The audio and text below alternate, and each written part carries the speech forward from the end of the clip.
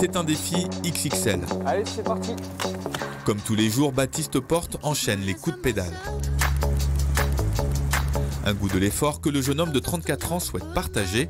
Dans un peu plus de deux mois, il partira de Tulle pour un Tour de France de 7267 km, un défi fou baptisé la boucle de l'espoir. C'est donner envie aux gens de se surpasser eux-mêmes, de se donner la volonté de s'en sortir euh, par rapport à la santé, difficultés scolaires ou autre chose.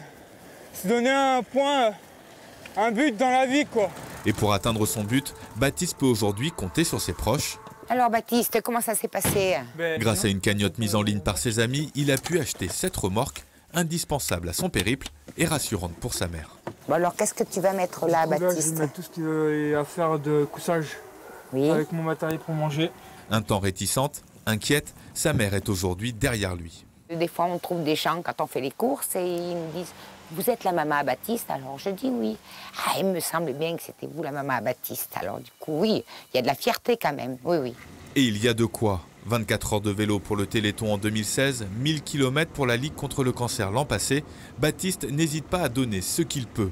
Il a pris un congé sans solde et mis ses économies dans ce projet. Il ne lui manque plus qu'une chose, une association bénéficiaire. Je cherche une association pour les enfants qui puisse me permettre, par exemple, à acheter un fauteuil roulant, aider les parents à acheter un fauteuil roulant, parce que c'est très cher.